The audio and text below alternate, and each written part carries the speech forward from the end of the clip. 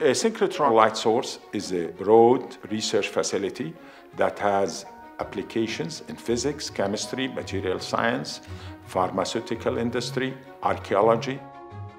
This kind of machine are very much oversubscribed, so the users uh, the, and the university the, the, in the Middle East are forced to go to the European facilities or to the American facilities. So there was a need to provide a local machine to cater for the, the need of the users locally. The idea to build Sesame was conceived in 1998 under UNESCO, who really thought that building a, a synchrotron light source in the Middle East will help bring people together.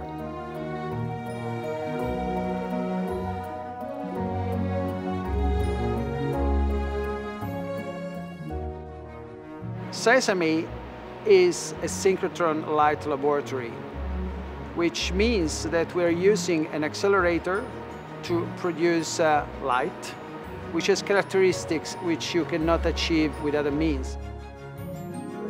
Sesame is a center of excellence, a state-of-the-art research facility based on uh, synchrotron radiation, where electrons are accelerated to 2.5 giga electron volt and used for scientific research.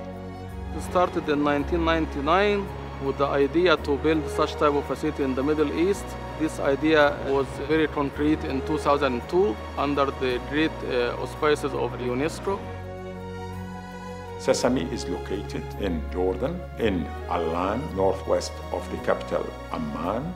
Sesame stands for synchrotron light for experimental science and applications in the Middle East. Sesame enjoyed a lot of support from the international synchrotron scientific community who supervised and worked with the scientists from the region to redesign and build the machine.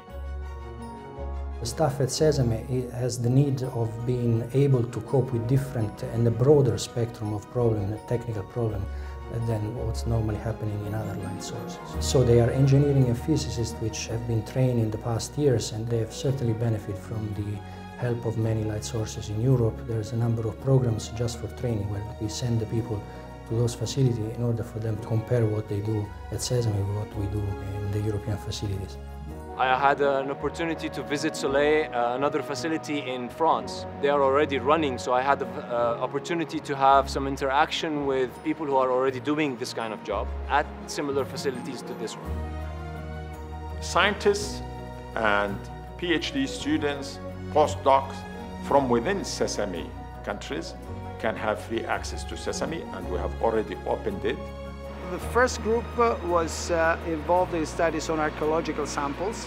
In particular, they studied bones and teeth coming from excavations in Cyprus. With synchrotron radiation, they were able to identify a type of diet. Uh, these type of experiments cannot be done without synchro radiation, this particular type.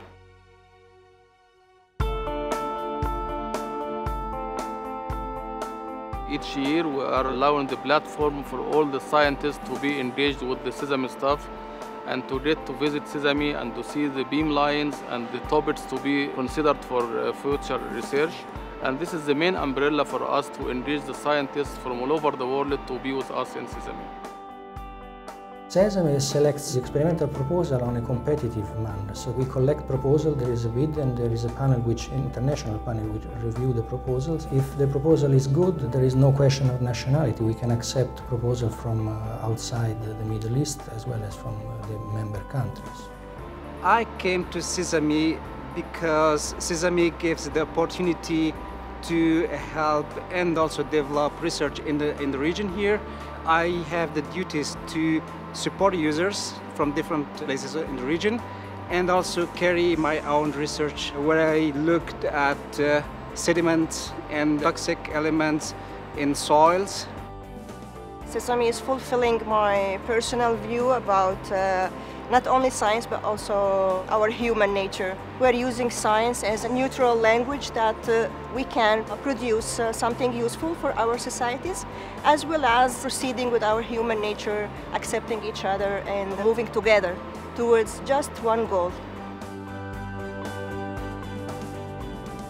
We are operating now two beam lines, the X-ray fluorescence and the infrared beam line. We are shortly going to finish the construction of a material science beam line. We are working also on a macromolecular crystallography beam line, and we have got a generous grant from EU of around 7 million euros to construct a tomography beam line and also the Helmholtz Society from Germany will generously donate funds to construct additional beam Sesame will have a great positive impact on promoting the culture of advanced scientific research in the region, to promote a culture of scientific excellence, and to allow scientists within the region to really work with their peers from other synchrotron facilities globally. It will definitely raise the level of scientific research within the region to a totally new level of excellence. Science that can be read and published in the most prestigious scientific journals around the globe.